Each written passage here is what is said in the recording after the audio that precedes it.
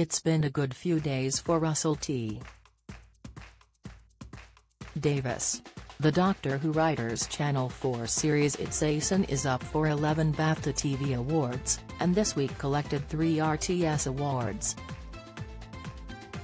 The hard-hitting series tracked a group of gay men and their friends as they navigated the UK's HIV-AIDS crisis in the 1980s and early 90s.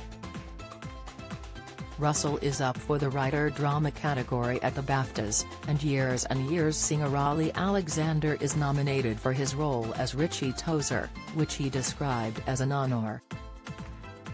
He is up against David Thewlis for Landscapers, Hugh Quarshie for ITV's Stephen, Samuel Adewunmi for BBC's You Don't Know Me, Sean Bean for Time and Stephen Graham for C4's Help.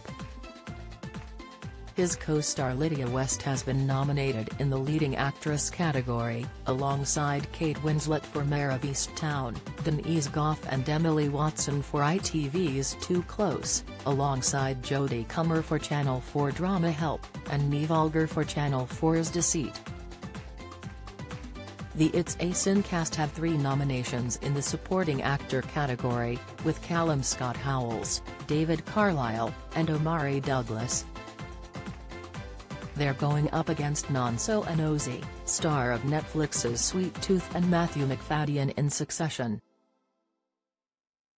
Holby City is nominated in the Continuing Drama category, after the series came to an end on Tuesday night following 23 years on screen comedian Sean Lock, who died from cancer last year, has received a posthumous nomination for Channel 4's 8 out of 10 Cats Does Countdown, in the Entertainment Performance category.